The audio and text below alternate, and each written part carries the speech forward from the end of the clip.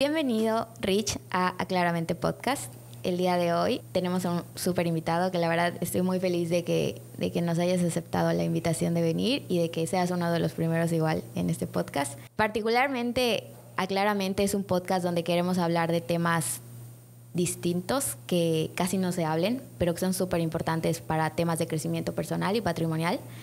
Sobre todo en la cuestión de, por ejemplo, el miedo, la ambición, el tema de la relación con el dinero son temas que muy difícilmente nos gusta hablar con otras personas.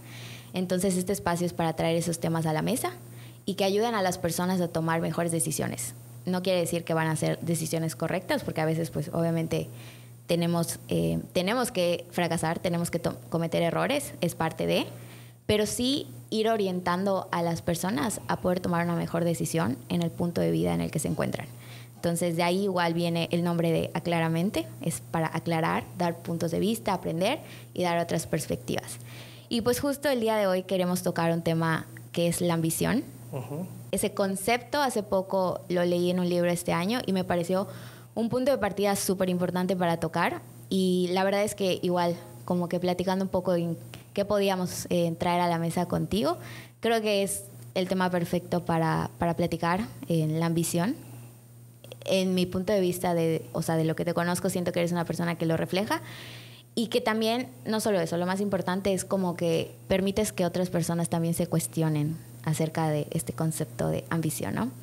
Un poco igual para entrar en el tema, me gustaría platicarte sobre este libro de donde saqué el concepto, lo tengo muy latente, que se llama La ambición también es dulce, de Marisa Lazo. De hecho, te lo mostré una vez que fuimos a platicar. Sí, recuerdo. Y y lo que dice este libro es que la ambición no es un concepto malo, es, es un concepto positivo. Más en las mujeres nos cuesta trabajo eh, vernos como personas ambiciosas por todo el contexto social que tenemos alrededor de, de, nosotras, ¿no? Incluso el hecho de que las mujeres, pues, en ciertos trabajos, digamos, entramos en, en un punto de la vida como tardío, ¿no? O sea, ciertos puestos de, de, poder eran para los hombres y, y pues eso, toda esa parte cultural en las mujeres se nos hace muchísimo más difícil considerarnos como personas ambiciosas. Pero bueno, antes de, eso me gustaría que nos cuentes un poco de ti, porque pues es muy importante que yo te conozco, no digamos de dos años para acá, pero sí es importante que las personas sepan, ¿no? Que quién, quién es Rich y digamos, si quieres como que una pregunta para entrar a, así como que en un punto en específico es ¿En qué momento de tu vida decidiste, digamos, emprender? No recuerdo exactamente cuándo fue el, momento específico, cuando decidí emprender, pero creo que me fui encaminando poco a poco. Desde pequeño fui observando a mi papá trabajar. Él trabajaba junto con sus hermanos y sus primos en una empresa familiar y desde muy pequeño pues, iba yo a las farmacias. Se trataba de una cadena de farmacias. Digamos que desde niño yo sabía que por lo menos de, desde una perspectiva muy romántica, a lo mejor no, no bien aterrizada, pero sí desde ese momento yo me consideraba como una persona de negocios. Eh, más o menos como los 16 años empecé a ir a algunos congresos, normalmente era yo el más pequeño, de allá me fui empapando un poco más del tema eh, empresarial. Casualmente a esa edad más o menos eh, mi papá llegó a ser presidente de la Coparmex, eh, me, fui acercando un poquito más a ese mundo desde lo que él me platicaba. Y en algún momento cuando tuve que tomar la decisión de, estudiar una carrera, pues la analicé, ¿no? Siempre encaminada a, los negocios. Estaba una carrera, pues, enfocada hacia el tema administrativo, había a lo mejor una opción de finanzas, entre otras que son de alguna manera más comunes para el tema de, de los negocios. Y yo opté por, por estudiar derecho. ¿Por qué razón? Lo veía yo como una herramienta importante y quería, de alguna manera, yo quería que el punto débil de muchos empresarios fuese pues, mi punto fuerte, ¿no? Entonces decidí estudiar la carrera de, Derecho, presenté mi examen de, admisión a la, a la UADI, a la Universidad Autónoma de Yucatán. Estudié cinco años allá. Me dio la oportunidad de aprender eh, muchísimas cosas, no solo de derechos, sino de, muchísimas otras cosas. Y una vez que salí, pues empecé con, con, los negocios, empecé a probar en, varios hasta que eh, me encaminé más hacia, el, hacia la industria inmobiliaria. De allí tuve la fortuna de toparme con, con un amigo y un primo que querían emprender justo en ese momento en la misma industria. ¿Eso es cuando ya saliste de la universidad más o menos? Habrá sido como cinco años después de haber salido de la universidad. Ok. Estamos hablando que tenías unos... 27, 28 años más o menos. Ok. Cuando decido emprender con Tony y Fer. Tony es mi primo, Fer es un amigo. Y empezamos Orbe, obviamente al principio no como, como una empresa, sino como un proyecto nada más. Lo fuimos consolidando, en algún momento decidimos hacerlo empresa, creamos procesos, creamos un branding, fuimos contratando más gente, se fueron desarrollando los sistemas de la empresa, una metodología de ventas, eh, empezamos a expandirnos en cadena a nivel nacional, abriendo oficinas en varias ciudades importantes de la República. Y en años después, unos seis años después de, de haberlo de haberlo comenzado, pues nos empezamos a dirigir hacia la institucionalización de la empresa y eso implica que en algún momento, pues, pues en ese entonces los socios que veníamos operando las direcciones nos eh, fuéramos saliendo de la empresa. El primero que salió fue mi primo Tony, inmediatamente después yo me salí y para que no fuese un, un cambio tan brusco, decidimos que Fernando se quedara como director general durante dos años, si no me equivoco, y nosotros nos fuimos, digamos, al, al consejo de la empresa. En enero de este año, del 2023, él se incorpora con nosotros al consejo, y dejamos la, la dirección de la empresa en manos de un director general. Que la historia que nos acabas de contar ahorita, más o menos como cuántos años de experiencia resume en el sector. 13 años aproximadamente de experiencia.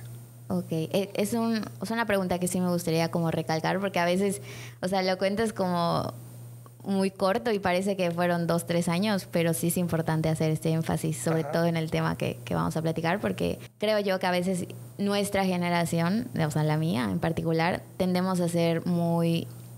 Queremos que las cosas sucedan rápido, ¿no? Y, y sí es importante tener esa perspectiva de que cuántos años yo, o sea, llevo a tomar eso, ¿no?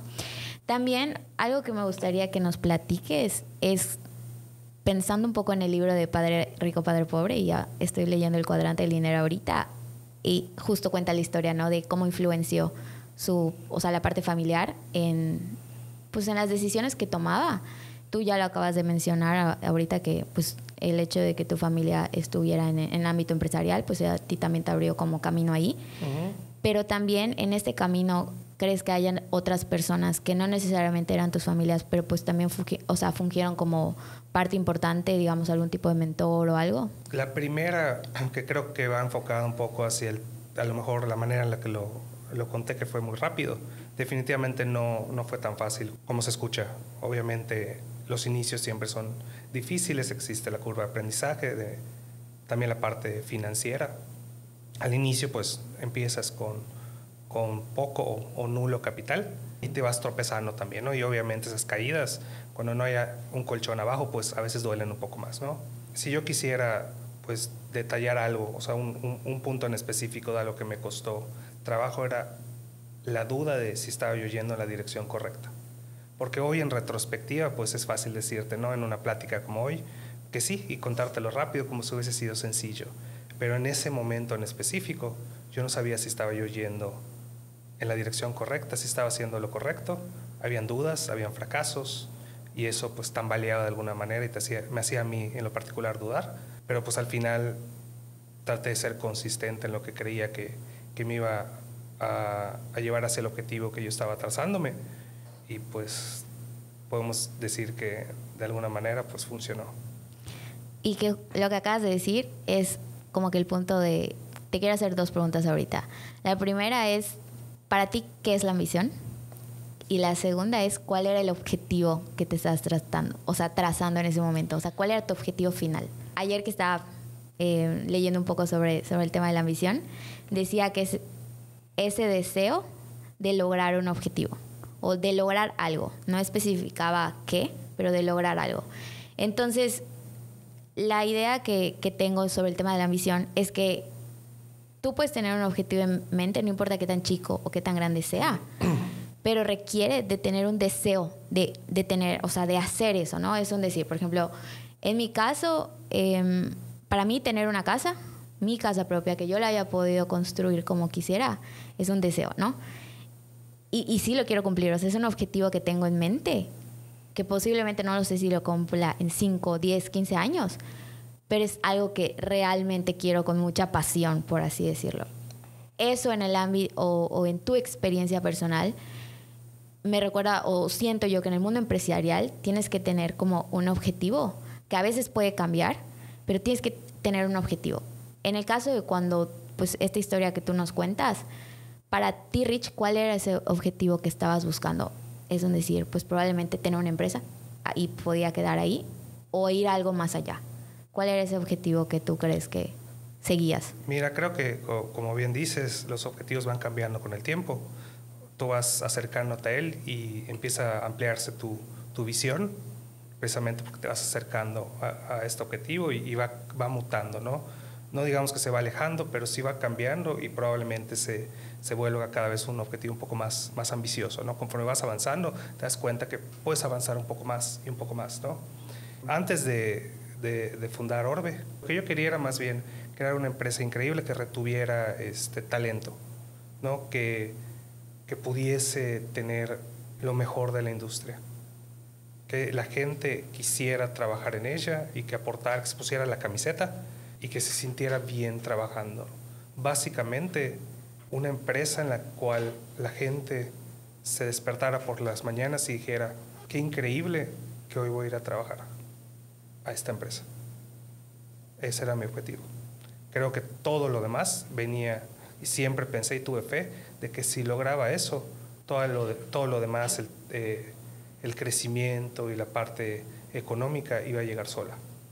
Y que eso se relaciona mucho con, con lo que decías, pues a veces quieres soltar la toalla o, o es incierto el camino que, que, dices, pero si tienes como ese objetivo, por eso la pregunta era súper importante y tal vez ahorita no la tenías en mente, pero sí te hizo recordar como en el punto de inicios de Orbe, qué era lo que querías. Porque eso es justo en la parte de la ambición, o sea, tener claridad sobre algo que quieres lograr.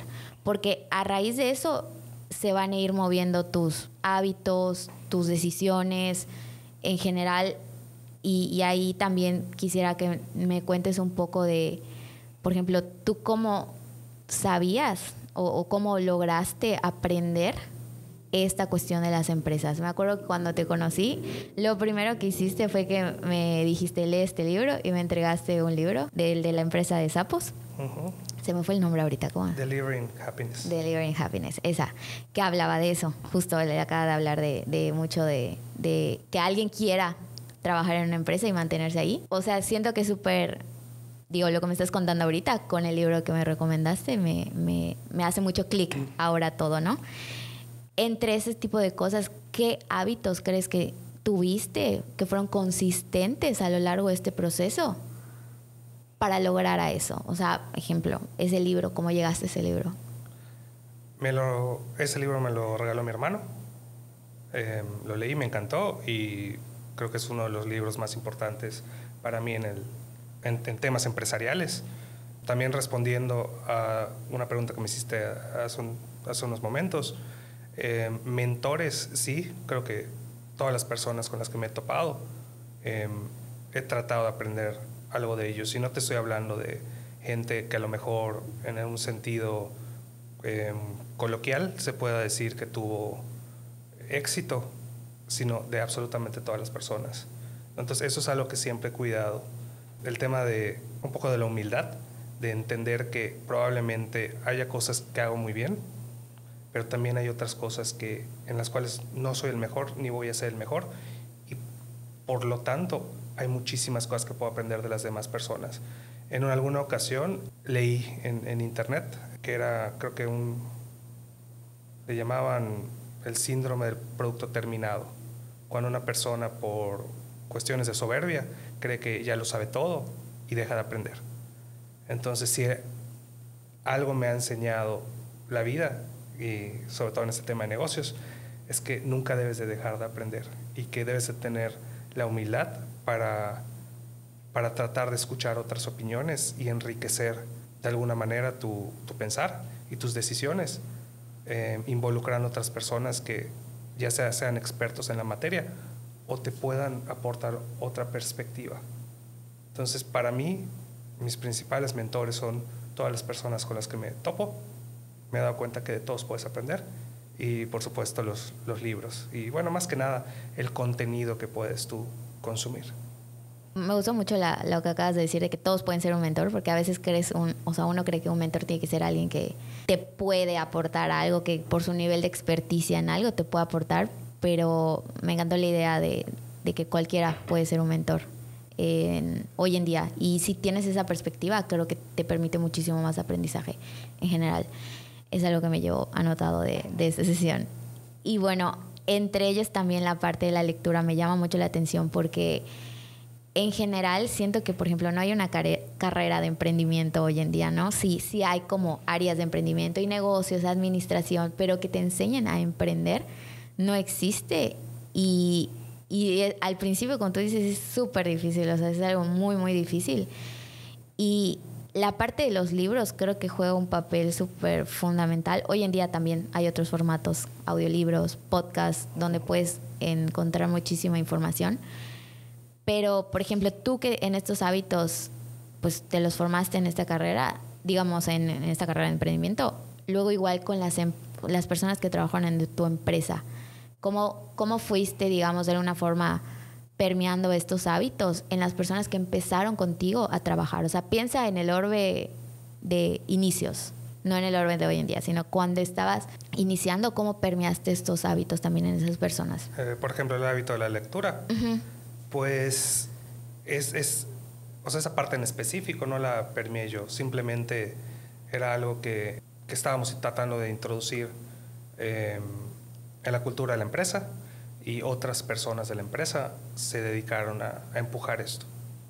Entonces allá pues es un poco el trabajo en equipo, ¿no? O sea, no todo lo que... Me atrevería a decir que hoy muy poco de lo que se hace en Orbe viene de lo que yo empujo. Ya la empresa ya tiene la madurez de avanzar por sí sola en un, digamos que, hablando, generalizando, ¿no? Obviamente no avanza sola, ¿no? Porque una empresa es, es, es, un conjunto de personas y básicamente pues las personas lo hacen avanzar. A lo que, lo, quiero, a lo, que, lo que te quiero decir es que hay muchas cosas que hoy en día suceden en la empresa y no en todas tengo yo que ver directamente.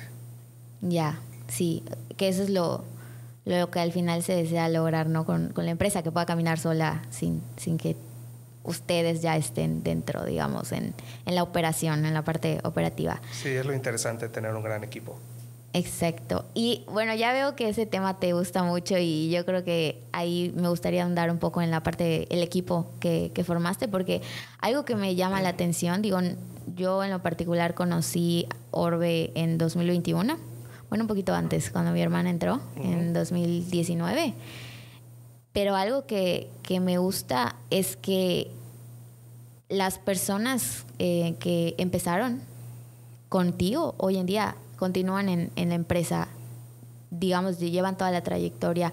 Y siento que eso es algo difícil de lograr, no lo sé, tú, tú me dirás en esa parte, me platicarás, el hecho de que, y, va con la parte de la cultura, o sea, de, de cómo ellos se sienten parte de un todo integral, pero cómo eso puedes creer que, te sirvió, no sé, el acercamiento con las personas, ¿qué crees que fue lo que logró esa parte? O sea, lo que logra la, la retención. Exacto, o sea, que las personas se mantengan en la empresa, que es al final el objetivo que, que comentabas, que era, yo quiero que las personas deseen trabajar en esta empresa y permanecer ahí. Pues yo creo que el formar una cultura fuerte, eh, positiva, Creo que lo que está en mis manos es el controlar o buscar controlar que una persona se quede o se vaya, pues es algo que probablemente no esté tanto en mis manos. Lo que yo puedo hacer desde mi marco de influencia es poner las condiciones para que quieran quedarse. Sin embargo, así como hay mucha gente que se ha quedado y creo que planea hacer carrera en la empresa, también ha, ha habido gente que que ha mirado hacia otra, hacia otra parte. Y, y es válido y, y, yo aprendí precisamente en este tema tan específico de la gente que que se retire la empresa para crecer. Me acuerdo que un socio me dijo, todo mundo tiene derecho a ser feliz. Entonces no te tomes personal si se va, es un ciclo que se cumple, todo mundo tiene derecho a seguir sus propios objetivos y, y he intentado siempre respetar esta parte.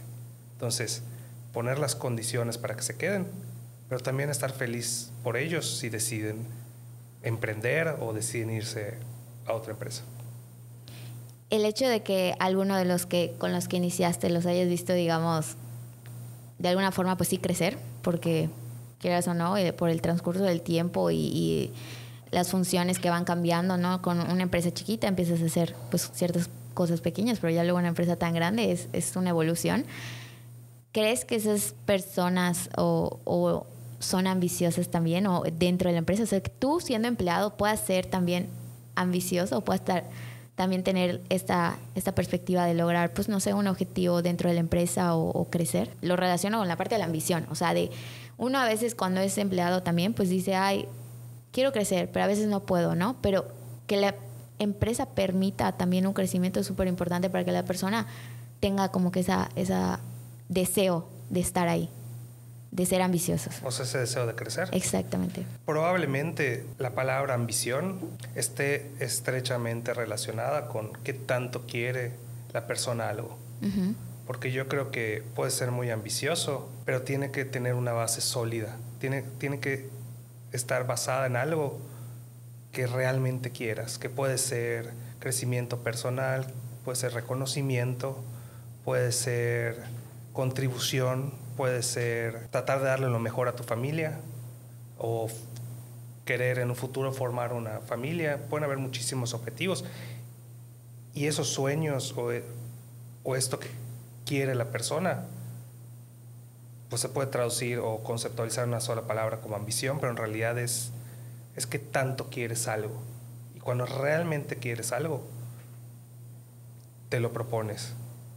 Y no importa la empresa, no importa las condiciones, yo creo firmemente que cuando un ser humano realmente se propone hacer algo, puede lograr lo que sea.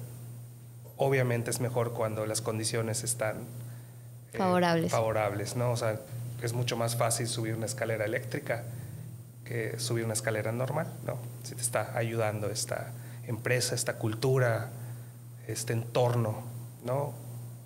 Pero al final creo que si bien cualquier persona puede crecer en Orbe, em, también lo pudiera hacer en cualquier otra empresa si realmente se lo, se lo propone. Acá, pues a lo mejor el detalle estaría en encontrar una empresa donde sea favorable este crecimiento, sea más fácil. Ya. Y, por ejemplo, algo que sí me gustaría tocar o preguntarte es, al principio yo creo, cuando empiezas el, un negocio y estás, digamos, solo o con muy pocas personas, tú tienes como tu meta clara para ti. O sea, es más fácil pensar como en tu individualidad. Pero cuando estés formando una empresa, digamos que ya la constituiste, es una sociedad, es tienes más personas a tu cargo, llega un punto donde tienes que como clarificar la meta como desde el ámbito empresa, o sea, como que ya no es, por ejemplo, es un decir, Ricardo, como quería al principio, hacer una empresa donde la gente permaneciera. Ese era en tu individualidad el objetivo. Pero ya cuando Orbe empieza a crecer, sentiste que ya tenías que plantearte entonces metas como empresa, o sea, ¿a dónde va esta empresa a futuro? Obviamente con tus socios y así.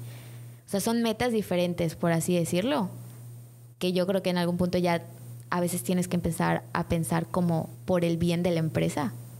No sé si me podías como contar tu experiencia en esta parte. Eh, ¿Quieres que te cuente un poco del momento en el cual nos sentamos a ver la visión? Pues más que visión, ajá, sí, o sea, cuando, cuando dijiste, esta es la meta de Orbe, por ejemplo, o esta es la meta de Orbe a, a corto o mediano plazo, realmente no sé cómo la plantean. Ajá. Sí. Sí, o sea, de hecho, lo, lo que hicimos como en muchas ocasiones hacemos en diferentes rubros relacionados con, con la operación de la empresa, contratamos un consultor con muchísima experiencia. Eh, lo trajimos a otra ciudad, tuvimos una sesión de un par de días, nos enfocamos en trazar todos estos objetivos y que todos estos objetivos estuviesen mirando hacia una visión a corto, mediano y largo plazo. Y e involucramos obviamente a las personas eh, pues, que nos iban a ayudar eh, a realizar esto, a los directores de la empresa. Hicimos el cónclave y al final pues salió humo blanco. Y, ya, y funcionó, lo trazamos y hacia allá vamos. Eso más un poco de, de, visión y dirección. Sí, eso, eso siento que es, o sea, me encantaría como ya saber, ¿no? En qué punto dices, bueno, ya, porque siento que la visión siempre la tienes que tener desde que empiezas. Y va a ir cambiando, como tú dices. Pero o sea, ahorita que me digas que el hecho de que pues ustedes se asesoraron con un consultor y, eso pues, te permite, yo creo que avanzar más rápido. Esa es, esa es la palabra y me recuerda un poco cómo iniciamos en la parte del podcast. Nosotros tuvimos asesoría al momento de la parte técnica, todo. Y que obviamente nos permitió entender las cosas más rápido. El, te dan como que un empujoncito, pero pues al final está padre que todos participen en esa parte. Eso que acabas de contar, más o menos en, o sea, ¿cuántos años tenía la empresa cuando, cuando pasó esto? Eso fue hace unos meses. ¿De verdad? Sí, básicamente, si bien sí existía la visión, lo que estábamos intentando era aclararla lo, máximo posible y también unificarla. Ok. Y por ejemplo, en, ustedes como empresa atravesaron la parte del, de la pandemia, que fue súper, digamos, movió todo. Me gustaría saber cómo, cómo fue su, su, experiencia como empresa en ese momento, porque siento que sí tiene que ver mucho aquí la parte de tener las metas claras de la empresa, ¿no? Yo creo, me atrevería a decir que es generalizando, cualquier empresario cuando nos encerramos a nivel mundial, creo que de alguna manera pues pues sí le generó algo de ansiedad en temas de del futuro de su empresa, la incertidumbre. Yo sí recuerdo haberme sentado con mis dos socios a pensar qué es lo que va a suceder, cómo nos va a impactar, qué tan preparados estamos. Al final, todas eran especulaciones. Em, obviamente, en, en la misma pandemia, pues el estar encerrados en nuestras casas, pues nos, dejaba eh, tiempo para pensar y yo recuerdo que me remitía a un capítulo de un libro que se llama La carrera de las 20 millas, em, que está en el libro de, de, uno de los libros de Jim Collins, no, no recuerdo exactamente cuál, pero habla sobre dos expediciones. Em, digo, no te las voy a contar ahorita porque va, va, a tardar muchísimo, pero sí. Una expedición va a tardar. exactamente pero básicamente hablaba sobre, en resumidas cuentas, sobre tomar decisiones en base a las cosas que puedes controlar. Okay. Eh, en ese entonces, haciendo referencia al clima, eh, cuando si te das la oportunidad de leer este capítulo, vas a entender lo que te digo. Eh, son, el clima no es algo que puedas controlar. Revisa qué es lo que sí y toma decisiones en base a eso. Entonces, básicamente, eso fue lo que hicimos.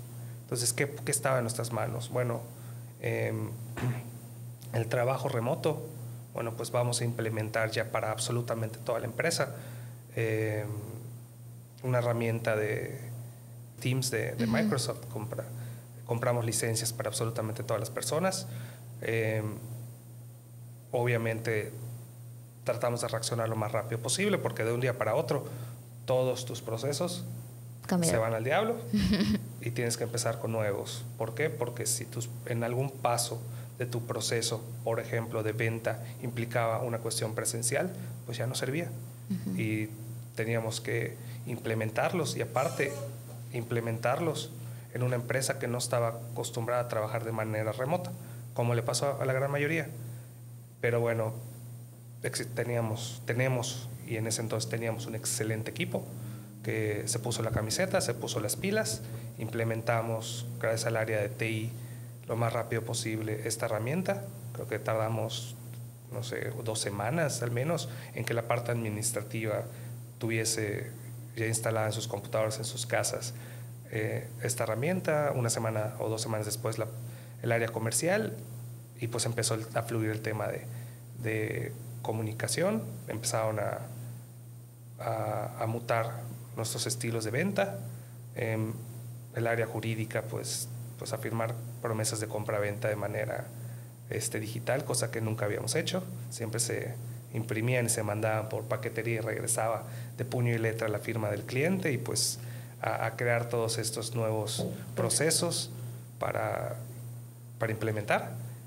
Obviamente había un montón de cosas que, muchísimas cosas que nosotros hacíamos por primera vez e imagínate implementar todo de golpe con la curva de aprendizaje que, que implica cada uno de estos cambios, pero al final un poco de, de por nuestra cultura y un poco yo creo también por la juventud de, digamos, en promedio de, de quienes formamos la empresa, se pudo hacer de manera rápida y creo que fue gracias a esto a que nosotros en pocos meses logramos triplicar las ventas. Que en pandemia. En pandemia, sí.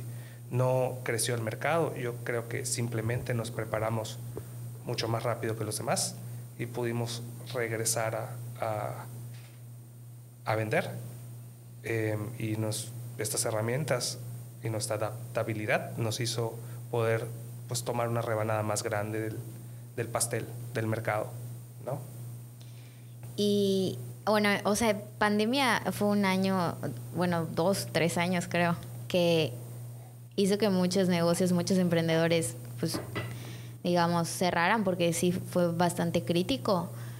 Lo que, pues, yo no sabía de esta historia, ¿no? Particularmente de Orbe. Eh, lo que me llama la atención es que pues ustedes fueron reactivos desde un principio, o sea, fue dijeron, ¿qué vamos a hacer? Y otra vez la referencia a un libro, ¿no? La importancia de, de cómo el libro te dio como que claridad de decir esto, ok, yo ni te pusiste a pensar, no, hasta, o sea, porque mucha gente pensaba de que, bueno, ¿cuándo ya va a acabar?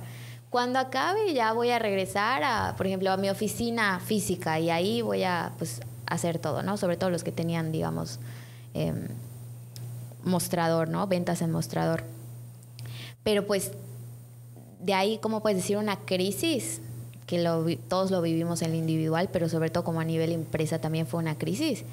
Definitivamente dejó muchas herramientas buenas para la empresa, o sea, el hecho de que se hayan digitalizado, por ejemplo, a muchas empresas les pasó, a ustedes igual. Y cómo, por ejemplo, ¿qué perspectiva tienes de lo que les dejó de aprendizaje en general la pandemia? O no solo aprendizaje, sino como gracias a la pandemia, pues pudimos implementar esto que hoy en día seguimos haciendo, ¿no?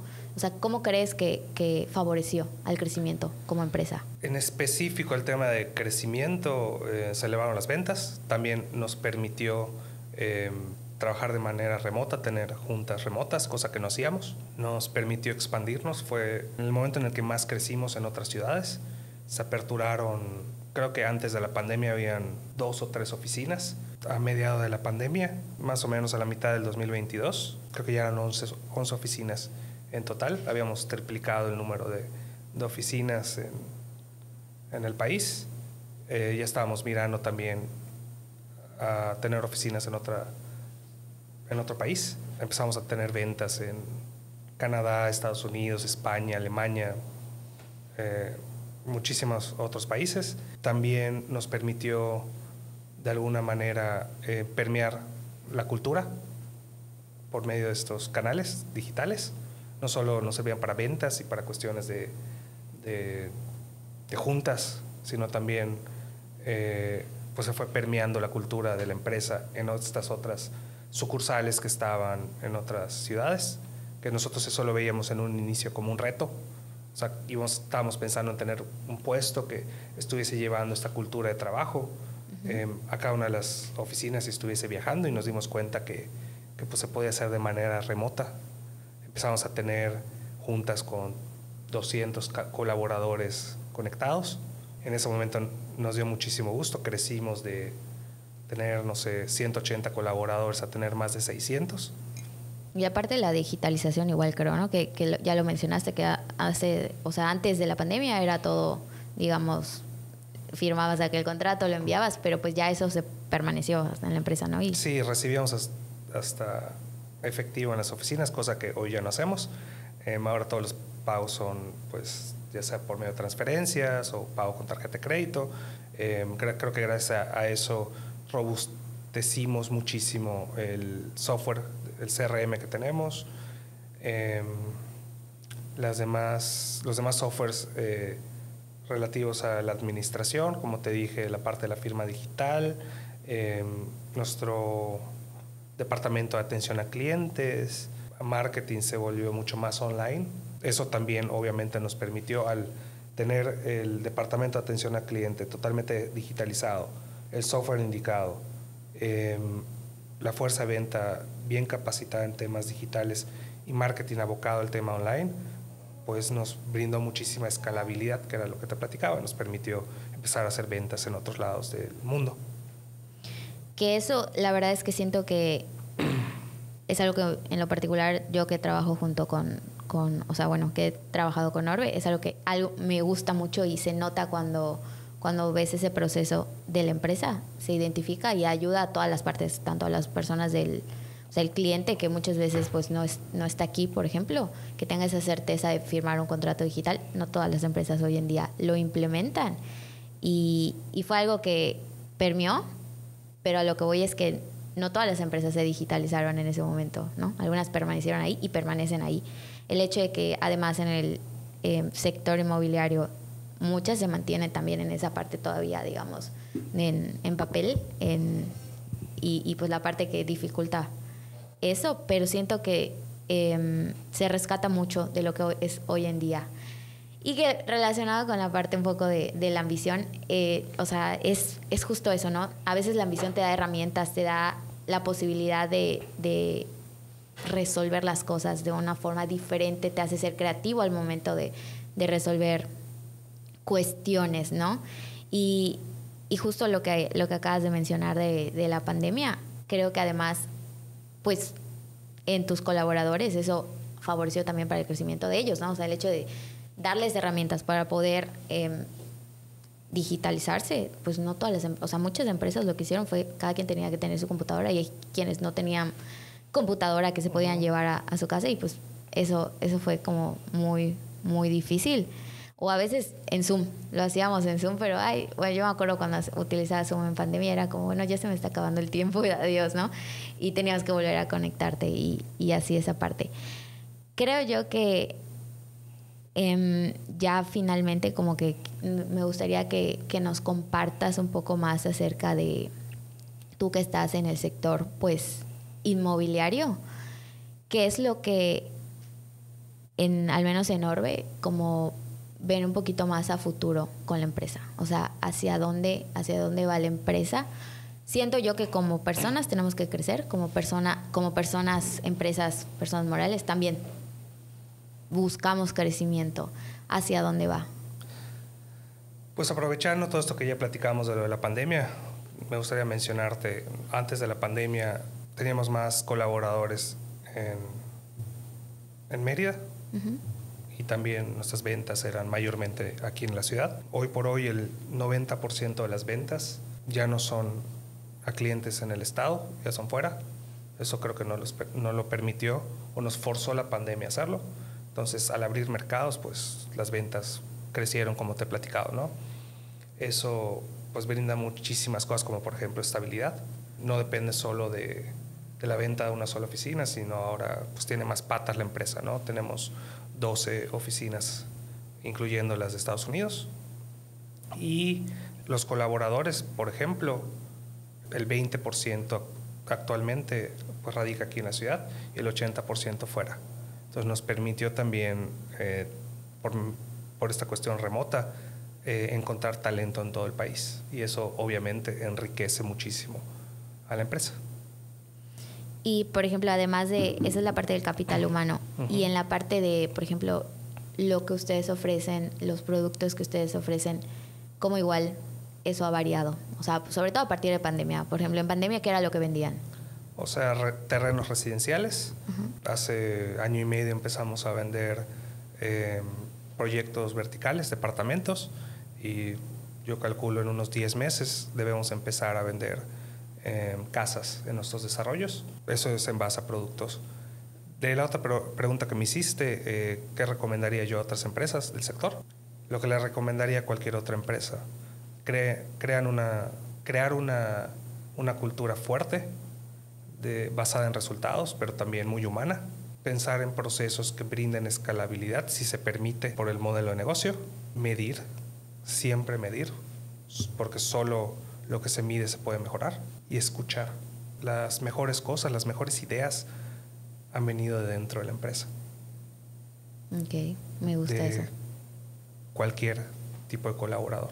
Entonces yo creo que, que también escuchar a tus colaboradores, eh, realmente escucharlos, tomarlos en cuenta, porque no sabes qué día va a llegar a alguien de tu misma empresa, la persona que menos te imagines, y, y te venga con una idea que cambie drásticamente, de manera positiva, a tu empresa. Como en muchas ocasiones me ha sucedido a mí. Me gusta, me gusta esa reflexión.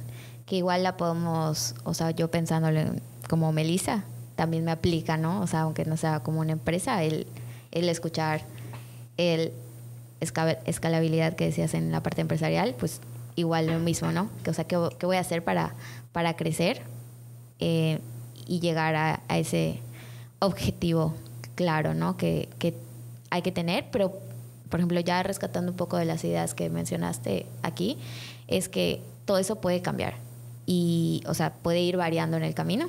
O sea, yo creo que lo importante es tener como una, una claridad en tu meta general, no tan específica, porque a veces igual cuando la hacemos específica, creo que a veces nos podemos encasillar en querer lograr una cosa, ¿no? O sea, querer este, que eso se haga. Sí, los cambios como normalmente traen cosas nuevas, también trae incertidumbre. Y generalmente a las personas no les gusta la incertidumbre, no les gusta lo desconocido. Entonces, pues sí te puedes llegar a, encasillar, eh, como bien decías, sin embargo, si hay algo constante en el universo es el cambio. Y creo que toda empresa eh, debe estar preparada para ello, no hacerlo solo por hacer y no cambiar solo de una manera errática, sino más bien planeada y reaccionar de manera correcta y oportuna cuando el mercado o cualquier otra condición te hace tener que reaccionar, tomando siempre obviamente decisiones en base a lo que puedes controlar. Al final, digo, Darwin lo dijo, ¿no? No son los más fuertes ni los más inteligentes los que sobreviven, son los que se adaptan.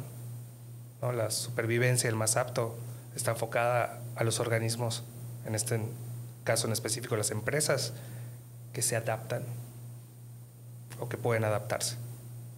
Me gusta, me gusta esa parte y, y de por sí creo que es algo que ya había escuchado en lo personal de, de ti. Me acuerdo que una vez me dijiste que tienes que estar acostumbrada a que las cosas no salgan como, como planeas que salgan porque así va a suceder.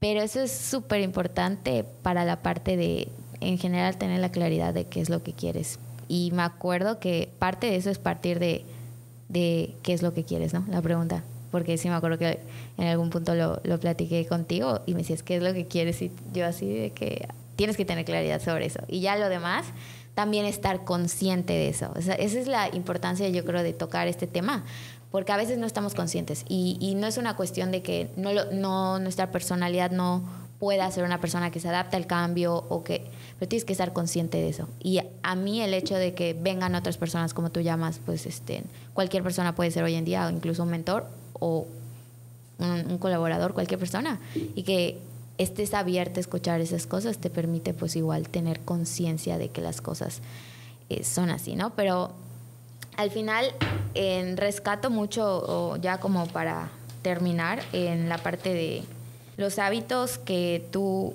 hiciste, creo que fueron también guiados por una pasión de, querer que la empresa crezca. Eventualmente eso, eso fue lo que sucedió, pero uno de los hábitos que recalco es la parte de escuchar, escuchar a las personas y eso implica también eh, platicar y conocer, estar abierto a conocer, dispuesto a conocer a las personas con las que trabajamos, las del sector, colaborar, o sea, con, con las personas mismas del sector donde tú estás. Es una parte súper importante porque de ellos aprende. La parte de los hábitos es, por ejemplo, en tu caso en particular, fue la lectura. Y eso es algo que sí me, me llevo mucho de, de ustedes porque, te digo, yo ya había dejado de leer y luego retomé el hábito de la lectura y ahorita le estoy pasando un poquito más a modelo podcast, pero también retomando como que libros, pero es súper importante que puedes sacar una cosa que te pueden enseñar en la escuela, o precisamente, más bien no te enseñan en la escuela y lo puedes sacar de un libro. Claro, tú lo aplicas a lo que tú eres hoy en día, pero a mí eso me ha dejado, digamos, la, la parte de la, de la, lectura, o sea, poder... Todas las respuestas, a todas las interrogantes que te puedas plantear, están ya escritas en un libro. No tienes que inventar absolutamente nada, solo lo tienes que encontrar. Exacto, o sea, el, el tema y, específico, por ejemplo, no sé, si quieres hablar de crisis en las empresas, buscas un libro de crisis en las empresas. Ajá. Que lo que yo hago ahorita es como que más que nada con podcast.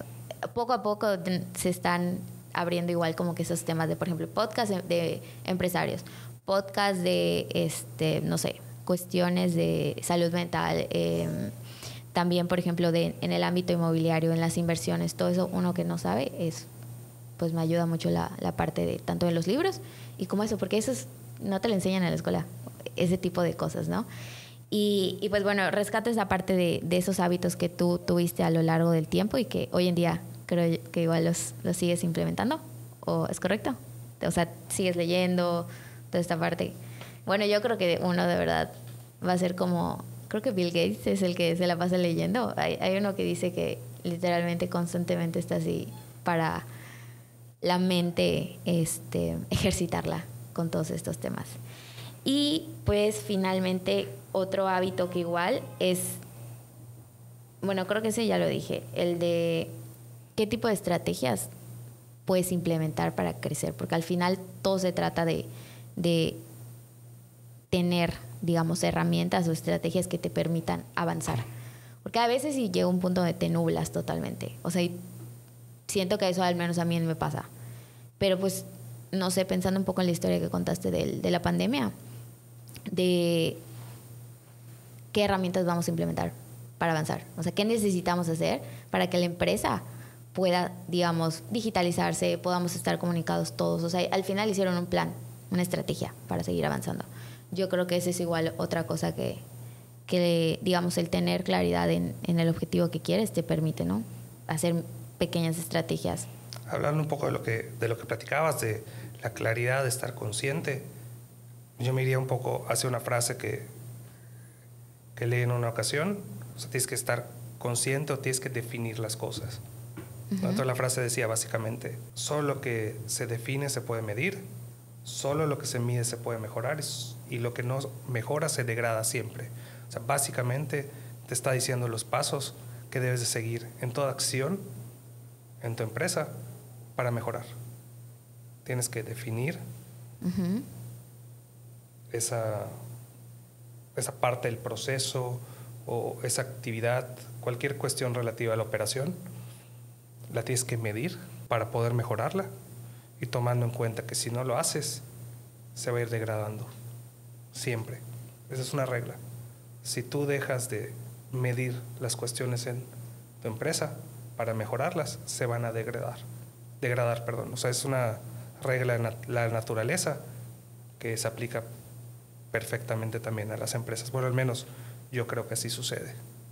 Me gusta, me gusta esa idea, la, la recalcamos y... Uno más, que es un reto que todavía estoy aprendiendo para poder aportar esta parte a la empresa, pero cuando la empresa se empieza a sistematizar, se crean procesos, eh, se brincan las curvas de aprendizaje, retienes a, captas y retienes a las personas indicadas y se empieza a trabajar de manera correcta en diferentes áreas. El reto que ahora viene, que es bastante retador, es lograr que estas áreas colaboren entre ellas. Pero igual y en alguna otra ocasión platicamos al respecto. sí, me, me, gusta la idea de, de, eso. Creo yo que, que, o sea, me gusta escuchar, ¿no? Que, que, cada, o sea, no importa que tu empresa que tantos años tenga de experiencia, estos puntos eh, pueden surgir, digamos, en unos 10 años particularmente, ¿no? Porque pues ustedes ya tienen varios departamentos desde hace años, ¿no? Pero el plantearte esto ahorita cuando ya hay departamentos funcionando, eh, o sea, está padre porque significa que están conscientes mucho de, de, el rumbo, de hacia dónde va, y qué quieren hacer. O sea, eso con eso creo que yo me llevo de que ese es un punto importante, al menos en, en, en la cabeza de, de, ustedes como empresa. Y pues nada, me gustaría nada más que finalmente nos invites a las personas un poco a, a las personas que no conocen Orbe. Uh -huh. eh, hoy en día creo yo que la mayoría de, de nosotros en Mérida al menos lo hemos escuchado, lo hemos visto en algún espectacular o si vamos a Los Leones hemos escuchado de esta empresa. Ajá. Pero que puedas resumir qué es lo que hace Orbe y invitar a quiénes, quiénes son los que podrían acercarse a Orbe. Bueno, ¿quiénes se pudieran acercar? Cualquier persona que quiera invertir. Yo siempre he dicho que lo ideal sería que en la medida de lo posible siempre enfoques parte de tus ingresos hacia la inversión, que puedas brindar parte de tus ingresos mensuales en una inversión. Entonces, quédate con tus ahorros, uh -huh. pero lo que ingresas mensualmente destina una parte hacia la inversión inmobiliaria. Yo creo mucho en la, en la inversión inmobiliaria. ¿Qué tipo de productos ofrecen? Eh, terrenos residenciales, departamentos en la ciudad de Mérida, en, en, Quintana Roo, en el estado vecino, en Playa del Carmen y Tulum. Próximamente casas. Próximamente casas en nuestros mismos eh, proyectos residenciales. Ok, perfecto. Pues básicamente es cualquier persona que tenga la intención de invertir y, y sobre todo también considerar que a través de Orbe pues se da mucha accesibilidad a, a esto, ¿no? Tal vez uno cree que, que, no tiene la capacidad económica para invertir, ¿no? Pero pues vale la pena como conocer estas empresas, qué es lo que hacen y cómo dan, digamos, la posibilidad de, personas adquirir una casa, un departamento. O, hoy en día creo que un terreno es, la verdad, también algo, una meta que, que debemos de tener, ¿no? De, de adquirir cualquier tipo de propiedad, de, no tiene que ser ahorita, pero en, tal vez en un futuro y sí conocer cómo lo podemos hacer es, es, importante. Orbe tiene pues la, un financiamiento que otorga a través de la empresa, lo cual, como ya mencionó Ricardo, permite la facilidad de pago de, de esto, sobre todo en departamentos también, que, que ahorita este, en eso igual uno cree que tal vez este, es algo muy lejano, pero no, y, y vale la pena entrar a la página de Grupo Orbe, y pues nada, muchísimas gracias a Rich por, por tu tiempo, por todo lo que nos aportaste aquí y seguiremos eh, invitándole a este podcast. A ti, Meli, por la invitación. Gracias.